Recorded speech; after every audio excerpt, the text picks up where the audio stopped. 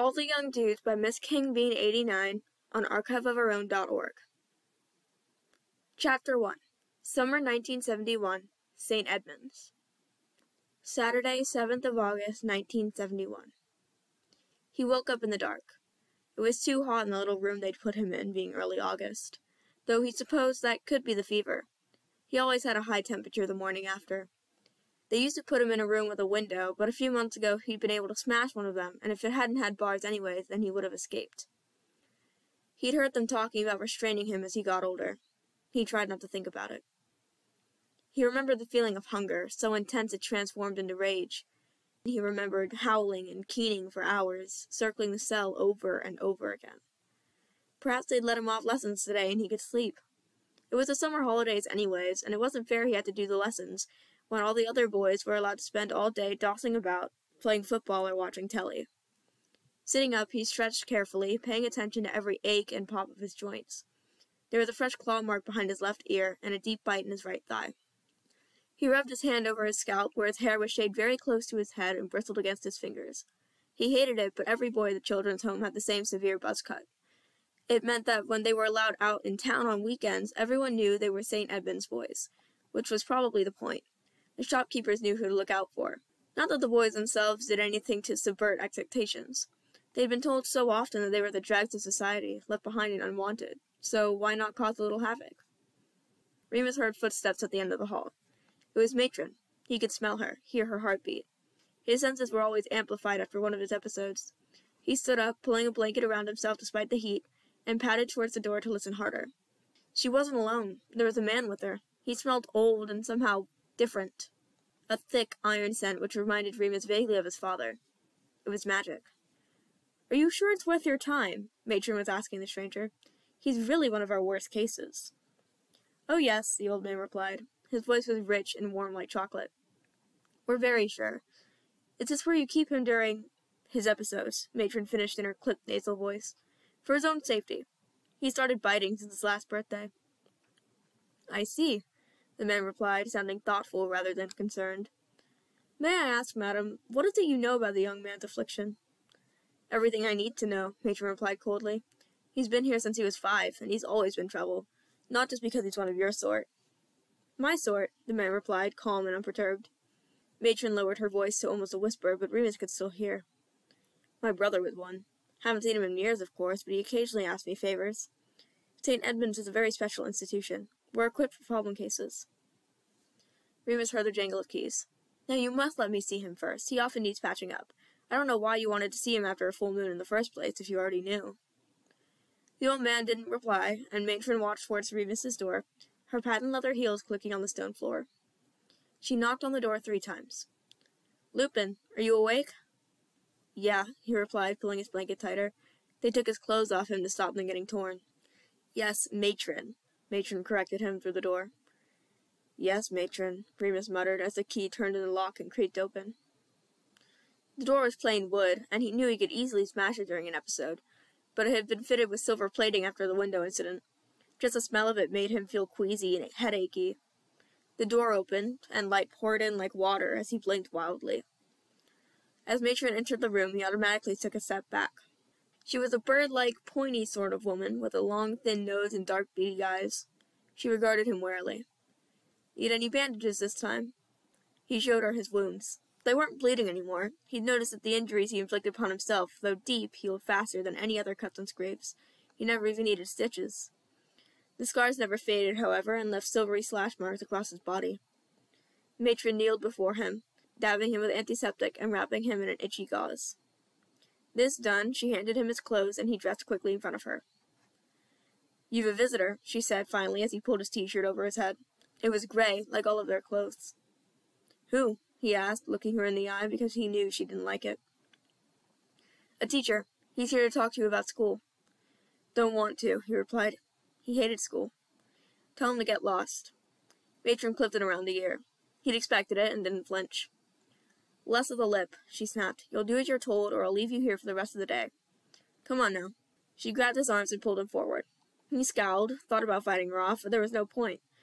She really might lock him in again, and he was curious about the stranger now, especially as the scent of magic grew stronger as they moved down the shadowy corridor. The man who was waiting for them was quite tall and dressed in the strangest suit Remus had ever seen. It was velvet, a deep maroon color with elaborate gold embroidery at the cuffs and lapels. His tie was midnight blue. He must have been very old indeed. His hair was white as snow, and he had a long, incredible beard which must have reached his navel. Strange as he looked, Remus didn't feel intimidated as he did with most grown-ups. The man had kind eyes and smiled at Remus from behind half-moon spectacles as they approached. He extended a hand. Mr. Lupin, the old man said warmly. A pleasure to meet you. Remus stared entranced. No one had ever addressed him with such respect before. He almost felt embarrassed. He shook the man's hand, feeling an electric burn as he did so, like battery acid. Hi, he replied, staring. I'm Professor Dumbledore. I wonder if you would join me in a turn about the grounds. It's such a lovely day out. Remus glanced up at Matron, who nodded. This in of itself was worth having to talk about school with an oddly dressed stranger. She never let him outside during a full moon, not even with supervision. They carried on down a few more corridors, just the two of them. Remus was sure he'd never seen Dumbledore at St. Edmund's before, but he certainly seemed to know his way around. Once they were finally outside, Remus breathed deeply, the warm summer sunlight washing over him. The grounds, as Dumbledore had called them, were not extensive a patch of yellowing grass the boys used for football, and a small patio terrace with weeds growing up through the cracks in the crazy paving. How are you feeling, Mr. Lupin? the old man asked. Remus shrugged. He felt the same way he always did afterwards, sore and restless. Dumbledore didn't snap at him for insolence. He merely continued to smile down at him as they walked slowly around the perimeter fence. What do you want? Remus asked finally, kicking a stone out of his way.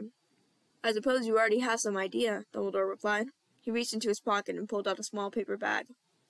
Remus could smell sherbet lemon, and sure enough, Dumbledore offered him a sweet. He took it and sucked. You're magic, he said plainly, like my dad. Do you remember your father, Remus? He shrugged again. He didn't very well. All his memory could ever drag up was the shape of a tall, skinny man wearing a long cloak, looming over him, crying. He assumed that had been the night he was bitten. He remembered that well enough. He was magic, Remus said. He could make stuff happen. Mom was normal. Dumbledore smiled at him kindly. Is that what your matrons told you? Some of it. Some of it already knew. He's dead anyway, thought himself. Dumbledore looked slightly taken aback by this, which pleased Remus. It was a point of pride having a tragic backstory. He didn't think about his father often other than to consider whether he would have killed himself if Remus hadn't been bitten. He carried on. Mom's not dead, though. Just didn't want me so I'm here. He looked around. Dumbledore had stopped walking. They were at the furthest edge of the grounds now, by the tall back fence. There was a loose board there which no one knew about. Remus could slip through it if he wanted to, get onto the main road into town. He never really went anywhere in particular, just wandered around waiting for the police to pick him up and bring him back. It was better than doing nothing. Do you like it here? Dumbledore was asking. Remus snorted. Of course I bloody don't. He side-eyed Dumbledore, but didn't get in trouble for swearing. No, I didn't think so, the old man observed. I hear you're something of a troublemaker, is that right? Not worse than any of the others, Remus said. We're troubled boys. Yes, I see. Dumbledore stroked his beard as if Remus had said something of extreme significance. Got another sweet. Remus held out a hand expectantly. Dumbledore handed him the bag, and he couldn't believe his luck. The old fool was a complete pushover. He chewed the lozenge this time, feeling it crush like glass beneath his teeth sherbet exploding onto his tongue like fireworks. I run a school, you know, same school your father went to. That threw Remus for a loop. He swallowed the sweet and scratched his head. Dumbledore continued. It's a very special sort of school, for wizards like me, and like you. Would you like to learn magic, Remus? Remus shook his head fervently. I'm too thick, he said firmly. I won't get in. I'm sure that's not true at all. Ask her. Remus jerked his head back toward the tall gray building where Matron lay in wait. Can't hardly read, even. I'm stupid. Dumbledore looked at him for a very long time. You haven't had a very easy start in life, Mr. Lupin, and I'm sorry about that. I knew your father, only a little, and I'm sure he wouldn't have wanted...